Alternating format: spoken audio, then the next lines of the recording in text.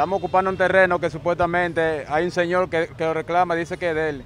Y nosotros estamos ahí porque no tenemos un rancho donde vivir queremos, y somos ciudadanos como dominicanos como, como cualquiera.